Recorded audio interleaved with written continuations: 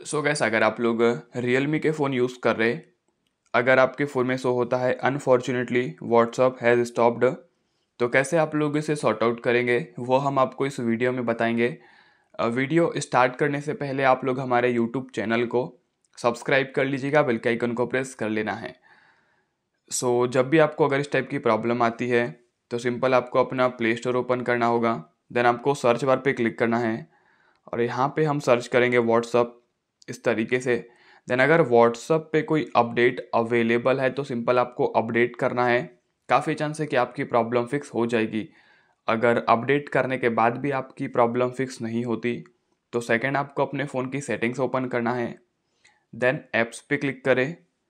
App management पे click करें। Search bar पे क्लिक करें। और यहाँ पे आपको व्हाट्सअप शो करेगा, इस पर क्लिक करेंगे। ठीक है?